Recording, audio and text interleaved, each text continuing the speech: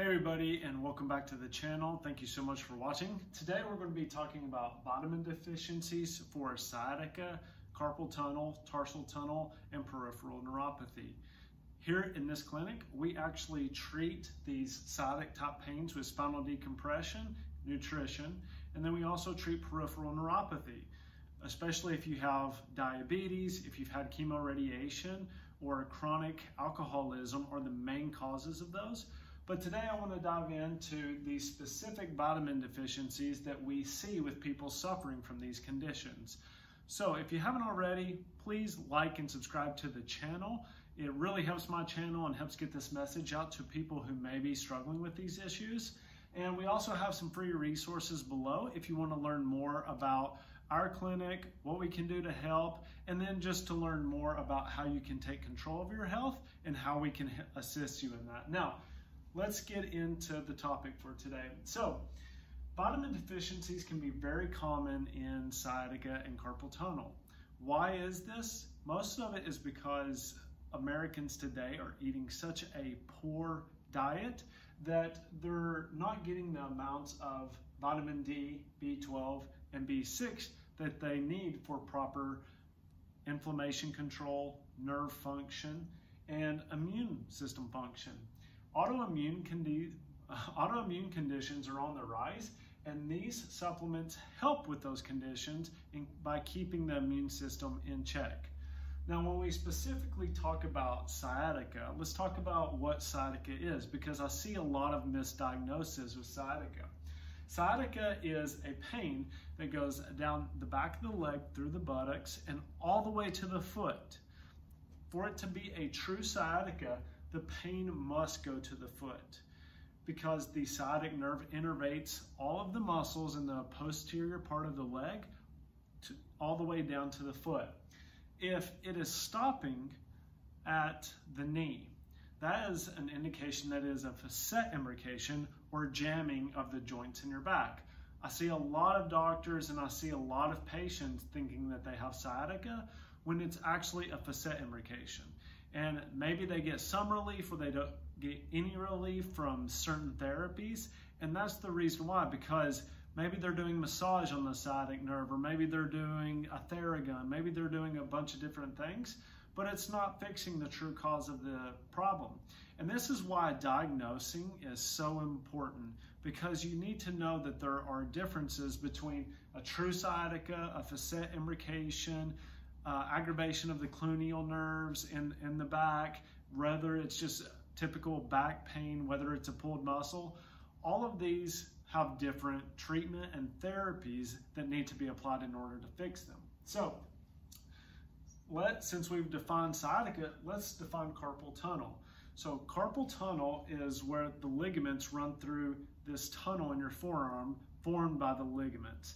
And what happens, it becomes inflamed a lot of the times, and people get wrist pain. This can look like if you have a desk job and you're typing a lot, or if you're in a flex wrist position for the majority of the day. It could even look like coming from sports. There are multiple reasons that carpal tunnel happens.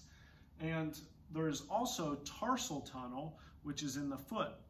So one of the things that we see in the office is some people have neuropathy, but some people also have carpal tunnel or they have tarsal tunnel syndrome. And really the treatments for those are very similar, but you can do different therapies in order to reverse them or treat them specifically, especially if you get a thorough exam and you find out is it the flexor muscles, is it weak extensor muscles, same thing in the leg, seeing which muscles are weak, or is it just that you have a very bad diet and you have chronic inflammation causing those tendons and ligaments to become inflamed. So one of the, the three biggest reasons why people get these due to a nutritional standpoint and not just a structural standpoint is that vitamin D will helps regulate the nerves, it helps regulate the muscles, and without vitamin D, it's also a good modulator of the immune system. And without vitamin D, if you're getting low amounts of vitamin D, the immune system will become dysfunctional. And when the immune system becomes dysfunctional, you get autoimmune type issues. Now, autoimmune issues can present as many different things, especially if you have belching, burping, uh, stomach pain, heartburn, if you have chronic headaches, all of these are signs that there's chronic inflammation in your body and can indicate some sort of autoimmunity, even though you may not have been diagnosed with uh, multiple sclerosis, with uh, thyroid, uh, Hashimoto's, thyroiditis, any of those, Graves' disease, Sjogren's, there's multiple that it could be. Vitamin D will help. So you need to make sure that you're getting in sunlight so that you're getting the appropriate amount of vitamin D to keep that immune system regulated. It's also very important for our hormonal function. And if you're a male and you're having low vitamin D, then what will happen typically is you'll have muscle wasting. Now, when the muscles, especially in our core and our back, aren't functioning appropriately, we get compression. We see this a lot and when people have chronic back pain, or maybe after an accident or a stressful event and their immune system is going down, or if they have some trauma to their back or a sciatica, a lot of the times what's happening is those muscles in their core and their back are weak and they have a depressed immune system leading to the aggravation causing that sciatic type pain. So vitamin D is crucial to make sure you're getting out in sunlight. We're here in South Florida, so that isn't hard for us. But if you're somewhere where there isn't a lot of sun, things that you can do. Mushrooms contain the most vitamin D out of any food source. It is not milk. I want to address that. Milk it doesn't contain any bio, bioavailable vitamin D. So if you're drinking milk thinking that you're getting your vitamin D, you've been told wrong. Just like you've been told wrong probably about other things about how fats are bad for you and how sugars and carbohydrates are the way to go. That's wrong. We're finding out that that is wrong. So other ways that you can get vitamin D are spinach is highly uh, bioavailable in vitamin D. And if you're going to supplement it, you want to make sure you're doing vitamin D with K2. K2 will help the absorption of vitamin D so that it will boost your levels up. One of the reasons why people have low vitamin D is liver congestion. So if you haven't already, go back and watch my videos on the liver and cholesterol and detoxing because this can be very important because your liver is where you make your vitamin D. So if you have liver toxicity or liver burden, then what will happen is you won't convert as much vitamin D. So it's very important that you do a detox. B12, now a lot of people are B vitamin deficient if you're eating foods that say fortified with B vitamins or minerals, those are not bioavailable. So that's why you're still having these deficiencies, even though you may be thinking that you're eating the appropriate amount. So our diet today just is very poor and it leads to these vitamin deficiencies causing these chronic conditions. Vitamin B12 is very crucial for nerve function, so it helps with the growth of the myelin sheath. It also helps with immune function as well. But if the myelin sheath starts to deteriorate, then what's going to happen is you're going to get that burning and tingling that you see in carpal tunnel syndrome, especially when uh, people are using it a lot and they're using those tendons and they those nerves are firing all the time, but they don't have enough vitamin D to help reduce the inflammation and to keep that myelin sheath nice and healthy. So vitamin B12 is crucial. There are methylated forms. So a methylcobalamin is what you're looking for when you're taking a vitamin B12 supplement, which can help, like we said, with the nerve function. This is found a lot in your red meats. Red meat is not bad for you, just so you know. It is not bad for you. Now, if you're going to eat red meat is a really good source and then also seafood is a really good source of vitamin B12 as well. So those are two great things to add into your diet.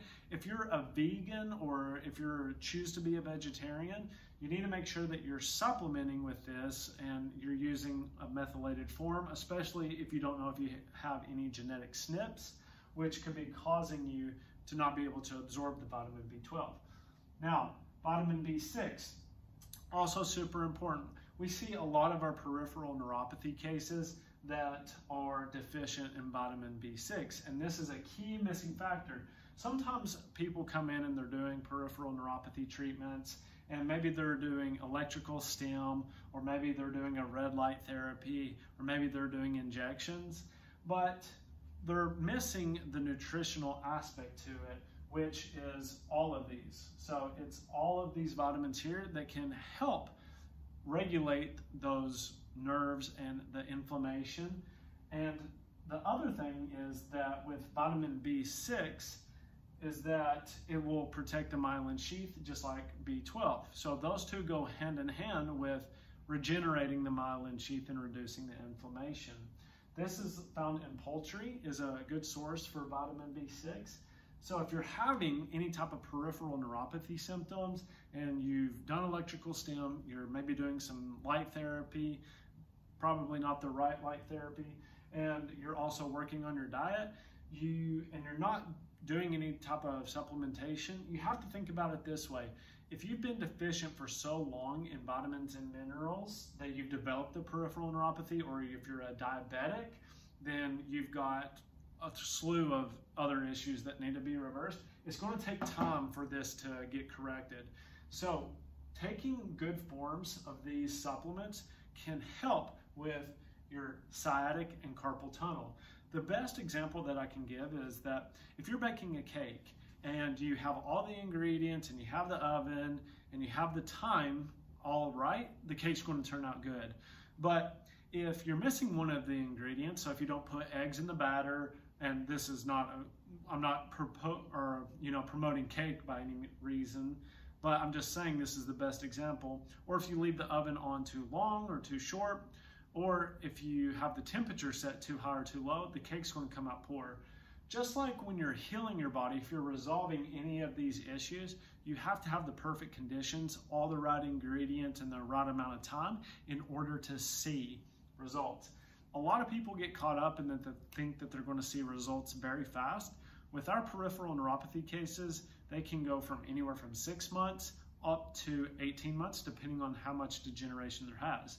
And when you get past 80% degenerated nerve function, there's no reversing it. That looks like permanent nerve loss. This is when people end up in wheelchairs. This is when people end up with amputations, and I've seen those happen. So, not to be a bearer of bad news, but I want you all to take these seriously so that you can have the highest quality of life as possible. Thank you so much for watching this.